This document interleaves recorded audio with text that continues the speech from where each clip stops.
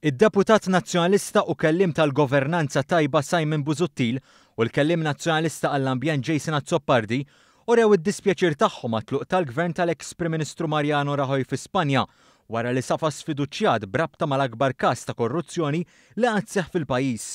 Sigħat wara li l-Parlament Spanjol sfiduċja l-Gvern ta' Rajoy, fi tweet il-Kap tal-Partit Popolari Ewropew, Manfred Weber, esprima d-dispjaċir tiegħu għat-tluq ta' Rajoy mill-Gvern Spanjol. Huwa qal li kien iddispjaċut li l-Gvern ta' Rajoy spiċċa mill-Gvern u qal li l-Partit Popolari Ewropew jistenna li l-Gvern ġdid Spanjol ma jżarmax dak li skont hu kiseb il-Gvern ta' Rajoy. Fost dawk li qablu mal-messaġġ ta' Weber kien hemm l-eks Kap tal-Partit Nazzjonalista Simon Busuttil u d-Deputat Nazzjonalista Jason Azzopardi li bħall-Partit Popolari fi Spanja jagħmlu parti mill-Partit Popolari Ewropew.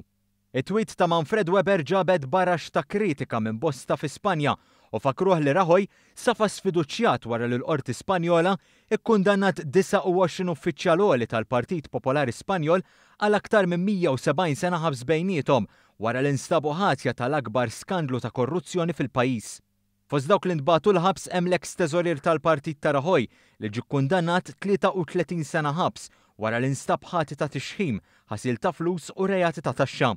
Fis-sentenza tagħha, il-Qorti Spanjola qalet li Rajoy ma jitwemminx meta jgħid li ma kienx jaf bl-iskandlu li jdur ma' skema illegali u sigrieta li biha l-partit ta' Rajoy kien jixxaħħem eluf kbar minn kuntratti pubbliċi.